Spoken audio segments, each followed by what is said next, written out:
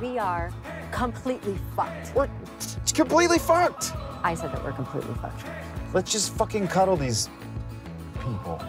Why can't we just go to couples counseling like everybody else? Name one couples therapist that hasn't been divorced like seven times. Jane and Drew, I presume. Do you see that? I see that. He hates my fucking face. I do not. Yes, you do. Some of the other cuddlers have been suggesting that you've been making them feel uncomfortable. I feel like we're doing a pretty good job of keeping our personal stuff on the DL. Nobody comes here because they want to.